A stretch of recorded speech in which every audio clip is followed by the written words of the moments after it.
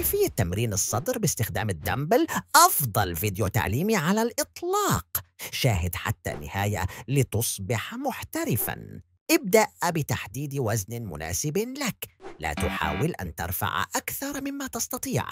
امسك ال dumbbells بقوة وضعهما على ركبتيك. خذ نفسا عميقا واستخدم ركبتيك لرفع ال dumbbells إلى مستوى كتفيك. أثناء الاستلقاء على المقعد ادفع بالدامبلز للأعلى في حركة قوية ومتناسقة. حافظ على السيطرة وتأكد من أن ذراعيك في وضع ثابت. لا تتعجل. عند الوصول إلى أعلى نقطة استشعر التوتر في عضلات صدرك.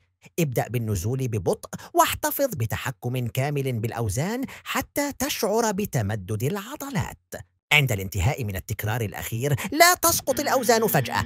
ارفع ركبتيك مجددا وضع ال dumbbells عليها لتجنب أي إصابات محتملة.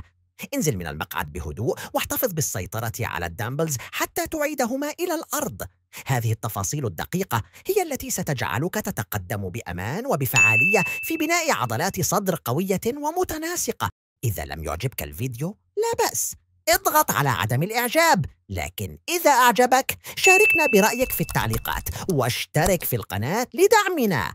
ولتعرف كيف تحسب السعرات الحرارية وما معناها. شاهد الفيديوهات التي ستظهر الآن على الشاشة.